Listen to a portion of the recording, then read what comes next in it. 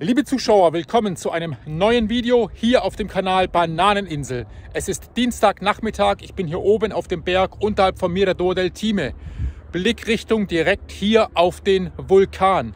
Graue Aschewolken über dem Vulkan. Der Hauptschlot soll wieder aktiv sein. Viele Erdbeben während der Nacht an diesem Morgen. Ich spürte mehrere Erdbeben immer wieder. Hab da gleich euch ähm, auf Twitter informiert darüber.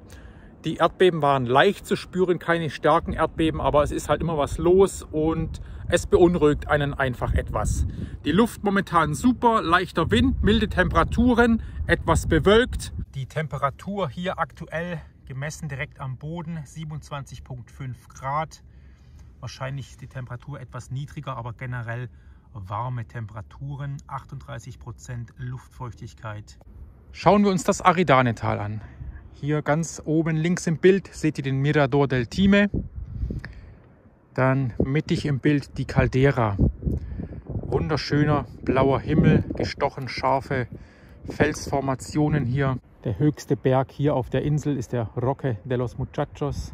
Die Kamera schwenkt weiter. Hier ins Bild kommt Los Llanos oberhalb El Paso Überhalb von El Paso der Bergrücken, dort hängen die Wolken sehr tief. Jetzt kommt der Vulkan ins Bild, sehr aktiv, wie man das sehen kann. Aus dem hinteren Schlot sehe ich hohe Lavafontänen herauskommen. Vorne läuft die Lava herunter, sichtbar mit bloßem Auge am helllichten Tage. Ihr könnt es jetzt hier selbst sehen.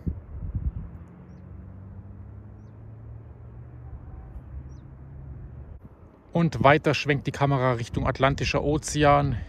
Hier das Städtchen Tazacorte, die Lavaströme zwischen den Bergen La Laguna und Todoque und dann hier unten die gemündeten Lavaströme, die bereits ein Lavadelta hier im Meer gebildet haben. Ungefähr 40 Hektar neues Land hier gebildet durch Lava im Atlantischen Ozean.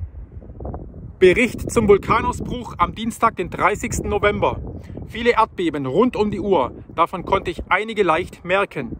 Die Erdbeben sind nicht stark, aber man merkt, dass da etwas ist. Ein Grummeln, das durchs Haus zieht. Scheiben vibrieren leicht. Der Hauptkegel des La Palma Vulkans wird wieder aktiv. Mehr als 20 Münder. Öffnungen auf einem Kilometer. 121 Erdbeben am frühen Morgen. Seismizität ähnelt der der kompliziertesten Tage im Oktober. Die Behörden gehen davon aus, dass die Zahl der Menschen, die auf die Insel La Palma reisen, um den Vulkan zu sehen, steigen wird. Die Analysen belegen, dass das Wasser in den Gebieten neben den Lavaströmen des Vulkans zum Verzehr geeignet ist. Das, National Geographic Institute hat in den frühen Morgenstunden des Dienstages 121 seismische Bewegungen auf La Palma geortet, von denen eines die Stärke 4.1 erreicht hat und das um 6.42 Uhr in El Paso in 40 Kilometer Tiefe. Ein weiteres war heute Morgen um 10.54 Uhr der Stärke 4.2.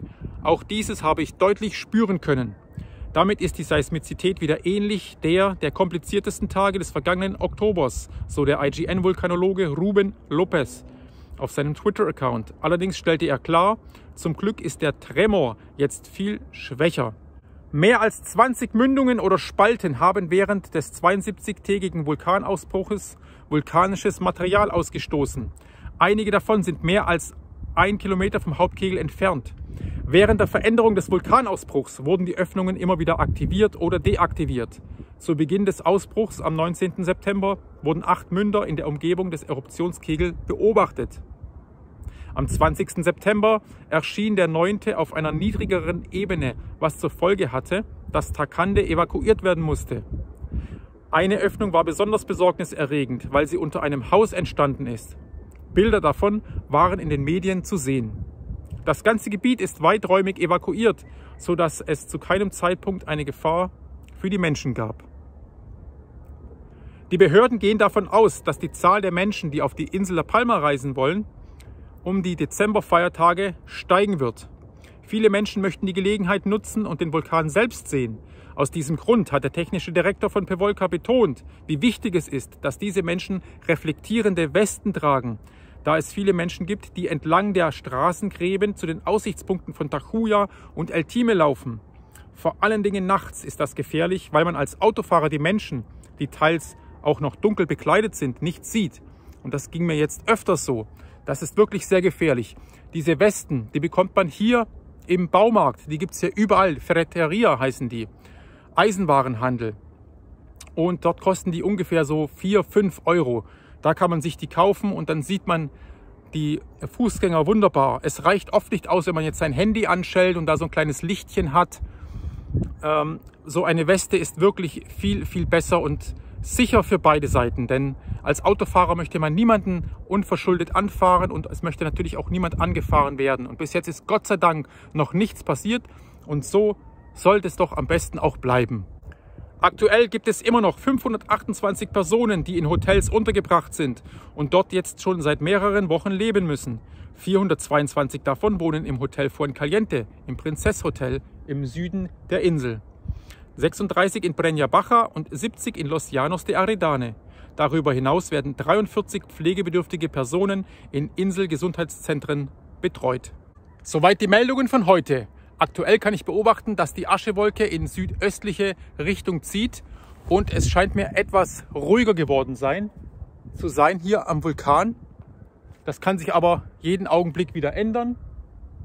Ja, wir werden sehen. Heute Abend werde ich wieder hier draußen sein, für euch berichten und wir werden schauen, was der Vulkan macht.